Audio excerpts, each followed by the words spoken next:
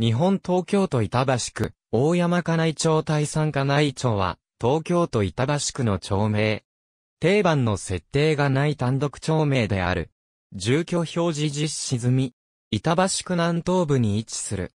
北で大山東町、北東で板橋、東で、豊島区池袋本町、南で、熊野町、南西で幸町、西で、大山町と隣接する。当辺をもって、板橋区豊島区境を形成する。町域東部を、東京都道317号環状6号線及び、首都高速5号池袋線が、南北に、南西辺を、国道254号が、南東から北西に、北辺を、東部東上線の鉄道路線が、東西に通じている。町域内は主に住宅地である。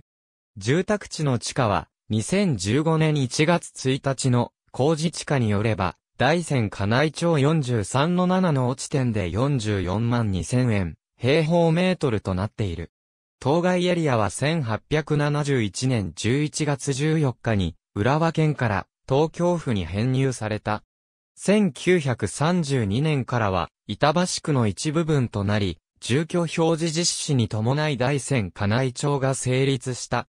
確定された説ではないが、谷ただし川沿いに鉄サビを含んだ湧水があったからとも言われている。金井久保は、江戸時代及び明治期の村名、旧北豊島郡板橋町の大あざ名であるが、目立った、久保父系ではないにもかかわらず、久保が付けられた経緯は明らかにされていない。2017年12月1日現在の世帯数と人口は以下の通りである。区立小中学校に通う場合、学区は以下の通りとなる。町域に駅は存在しないが、以下の路線、駅が利用可能である。ありがとうございます。